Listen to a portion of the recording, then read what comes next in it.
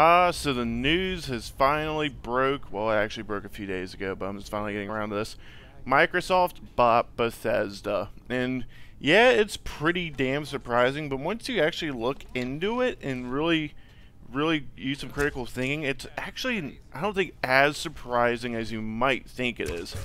So yeah, it's a big deal. Microsoft bought Bethesda, and along with all of their subsidiary studios like id and Arkane, and they're all going to be under the Microsoft wing. And that is a big deal.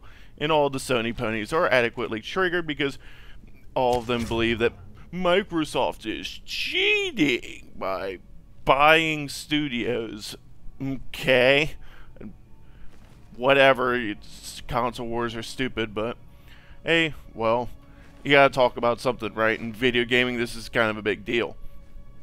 But Microsoft bought Bethesda, and Bethesda, if you really put some thought into it and look at their their uh, last few games, it's actually not that surprising because let's be perfectly honest, Bethesda has kind of struggled lately. I mean, their last undoubtedly good game, I think, was Skyrim, and I think public opinion has began in the past year or two to really look at Skyrim and say, yeah, it's a good game, but it does have its faults, and there are plenty.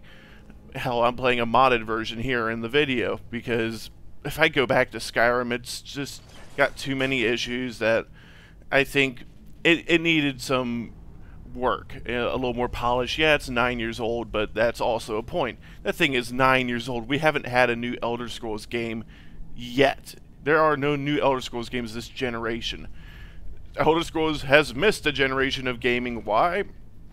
I like to think because Bethesda doesn't know what to do with the franchise after stripping things down for a more casualized audience in Skyrim, which also leads into Fallout 4, and that game's myriad of issues. That game is a shooter with RPG elements. That is not a role-playing game. Fallout 4 was trying to be the Skyrim to Fallout's Fallout. But I think it missed the mark a decent bit. Even though it is a fun game, it's I played through it once and it took me a while to get through it the first time. It was fun, but it was lacking a lot of things.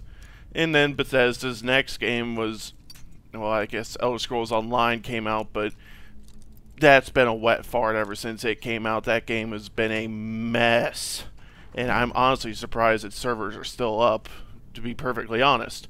Then we have, do we even need need to bring it up? Fallout 76, guys. Fallout 76 was the game that I think has shown how weak Bethesda's position is right now. They don't know what direction to take their games in. And Microsoft, I think, probably saw that a bit and offered up the big chunk of change. It's not even necessarily for their future games. That back catalog obviously has gems in it. Skyrim, Oblivion, Morrowind, Doom Eternal is already coming to Game Pass. That just got announced a day or two ago. I mean, those games are, I think, what Xbox is mainly after. Obviously, Elder Scrolls 6 is going to be a humongous deal in all of the games Bethesda's going to come out with, and hopefully they can get Obsidian and Bethesda to work on a Fallout New Vegas 2. That would be amazing. But Xbox and buying Bethesda, I mean, it's something to be excited for. Game Pass is going to. I, I don't have Game Pass, but man, I am thinking about it. If they really start rolling out the back catalog of Bethesda on the Game Pass, that is enormous for Xbox and obviously what Bethesda is going to do in the future with their uh, subsidiary studios is going to be massive too. But Bethesda, this is a studio and publisher, well, was publisher that just they're in flux right now. They have issues, and they I think are missing that direction. They are stripping down Fallout and Skyrim, Elder Scrolls, I should say, to try and appeal to a casualized audience, but I think that is a big issue as to why we don't have an Elder Scrolls 6. Todd Howard and company don't know how to probably casualize Elder Scrolls anymore. They have to start adding in more RPG elements.